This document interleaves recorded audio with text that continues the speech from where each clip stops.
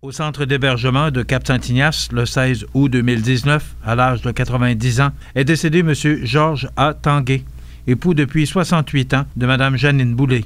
Il était le fils de feu M. Georges-Émile Tanguay et de feu Dame Yvonne Dion. Il demeurait à Montmagny. La famille recevra les condoléances à la maison funéraire Laurent Normand, 115 rue Saint-Louis, Montmagny, vendredi 30 août de 19h à 21h et samedi, jour des funérailles, à compter de 9h.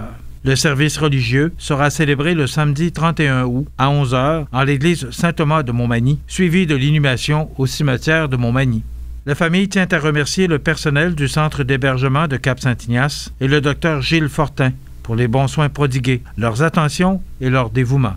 Vos témoignages de sympathie peuvent se traduire par un don à la Fondation de l'Hôtel-Dieu de Montmagny. Des formulaires seront disponibles au salon.